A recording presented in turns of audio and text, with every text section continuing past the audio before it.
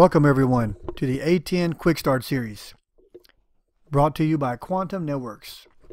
The first two videos in this series will be the A10 vThunder installation on VMware vSphere 6.5.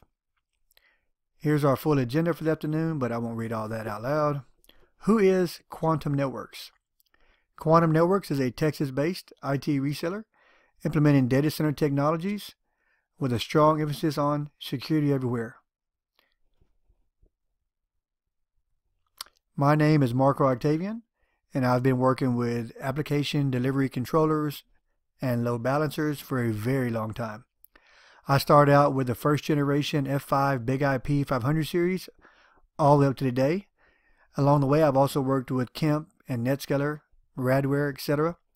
I started working with A10 several years ago, and A10 has now become my de facto gold standard for ADC solutions. And I've also worked with VMware NSX and their load balancer. So I've been doing this for quite a while. Intro to the A10 Quick Start series. This series is a set of short videos made to be quick and to the point to get you up and running as fast as possible. Okay, A10 vThunder installation on VMware vSphere 6.5 and the image we'll be installing is the vThunder 4.1.1 P9. And let's begin. First, let's do a quick review of our lab drawing. On the left, you can see there's a picture of a uh, physical host, what we might call the bare metal. And the VMware hypervisor software is installed on top of that. And then the A10 appliance is installed on top of the hypervisor. On the right side is a very basic drawing of what we'll be working with today the A10 appliance, when it first gets deployed, it creates three network interfaces by default. The management interface and two Ethernet interfaces. The management interface will reside on the 192.168.41.0 subnet with a 24-bit mask. The Ethernet 2 interface will be the 10.1.10.0 subnet also with a 24-bit mask. This is the subnet where the virtual IPs will live. The Ethernet 1 interface. This is the 10.1.20.0 subnet also with a 24-bit mask. And this is where the servers themselves reside. The Ethernet interfaces are called data interfaces by A10. This is because these are the interfaces that pass the actual application and client data traffic itself. Pretty straightforward, I think. The first thing we need to do is deploy the OVA and we'll do that using vCenter. So go to your preferred cluster or host, right click on it, click deploy OVF template, click on local file, browse, choose the A10 image that you downloaded, click next, change the name if desired or needed, Verify you have the correct destination resource.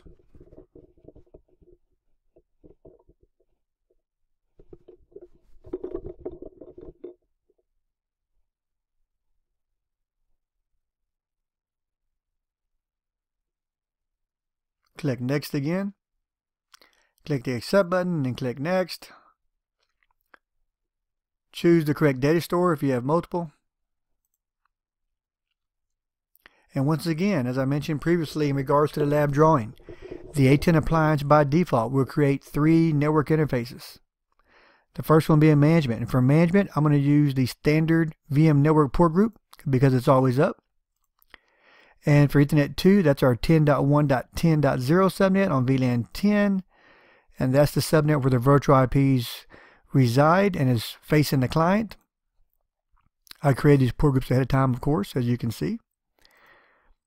Uh, and then the Ethernet 1 interface is the 10.1.20.0 subnet, which is VLAN 20.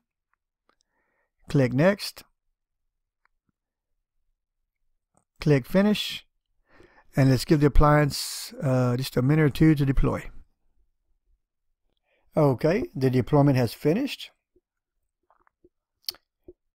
Oh yes, the distributed port groups. Click on the network configuration.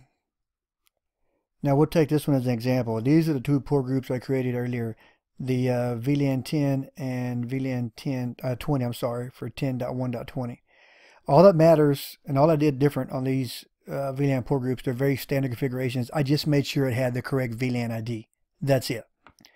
I gave it a name and gave it the correct VLAN ID. There's the name. VLAN ID should be the 20 because the 10.1.20.0 is VLAN 20. And that's all I did. This question comes up a lot, so I want to make sure real clear about how simple it really is. Okay. Configuring management access. Before I start this section, let me go ahead and go back to my VM, go back to the A10 appliance, and I'm going to power it on.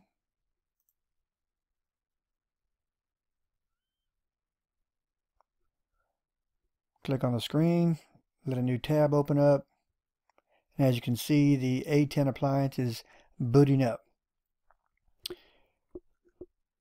Okay, A10 ACOS CLI commands. We're going to configure the management interface with an IP address, a default gateway. Then we're going to issue the appropriate show run command to verify the configuration. And then we'll ping our default gateway to verify connectivity is in place.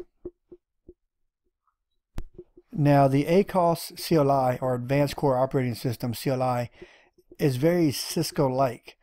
So if you've been on any Cisco switch for the last umpteen years or an HPE, Aruba ProCurve switch, etc., it's going to look and feel pretty much the same.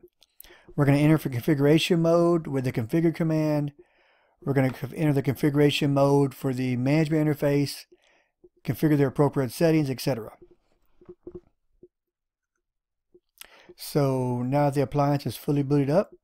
The default credentials for the vThunder appliance are admin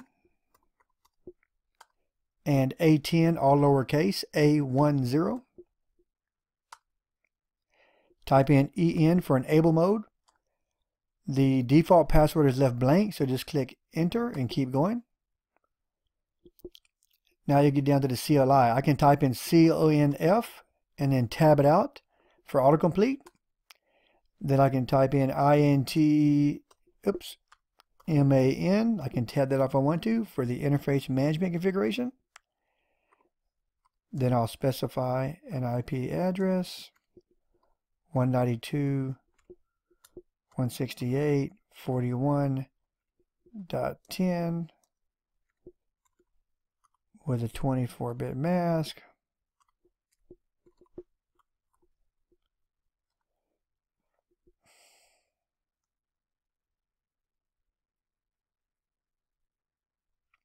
All right, what did I thumb finger here?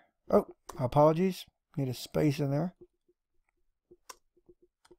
All right. Then we'll add a, a, uh, default gateway because the management interface does, of course, have its own routing table and is separate from the production routing table.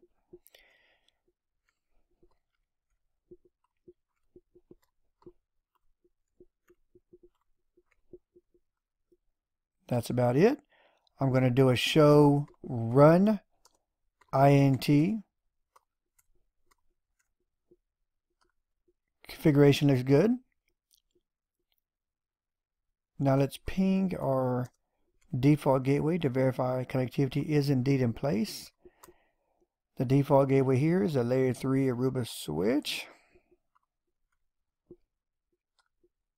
Looks good. So once again, once the manager interface is configured, we need to move on to implement, implementing the license. You can install the license via the CLI or the web UI. Now, the way you get a license is one of three options. You can contact your local SC or your local VAR, or you can subscribe and download for a trial version. Either one of those will go through the same process. A10 Networks will ask you for the host ID or the license ID or application ID, depending on your version or appliance. You'll give them that ID, you'll email it back to them. They'll send you back the license in text format, and you can either use the CLI to SCP it to the box, or you can use the GUI. Now, a lot of people don't have an SCP server ready to go.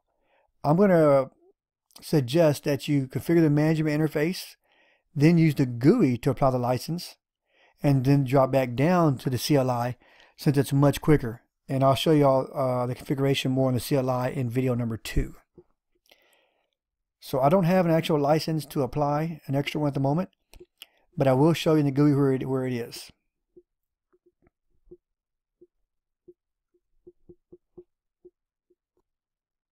Let me save that configuration real quick with a write mem and then exit out.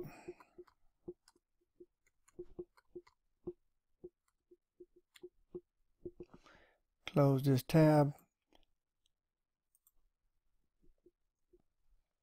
Let's connect to the GUI. Once again, default is admin and A10 lowercase.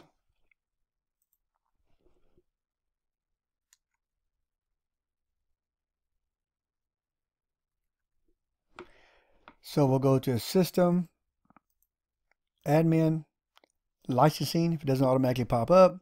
Here's your host ID it's going to ask for.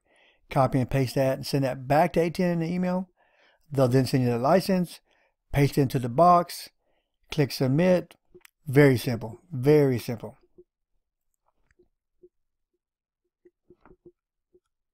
And that concludes part one.